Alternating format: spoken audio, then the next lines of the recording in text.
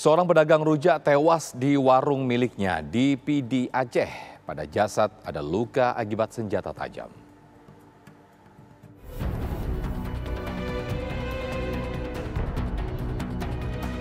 Saidinur, 45 tahun warga desa Metanjong Usi, Kecamatan Mutiara Timur, Kabupaten Pidie Aceh, yang sehari-hari berjualan rujak khas Aceh ditemukan tewas dengan kondisi mengenaskan di halaman warung miliknya. Jasad korban pertama kali ditemukan oleh istrinya yang merasa curiga lantaran korban yang setiap paginya pulang ke rumah untuk sarapan, namun menjelang Jumat siang belum juga pulang. Istri korban yang mendatangi warung terkejut menemukan suami yang tergeletak di lantai warung dalam kondisi tidak bernyawa dengan sejumlah luka tusukan senjata tajam.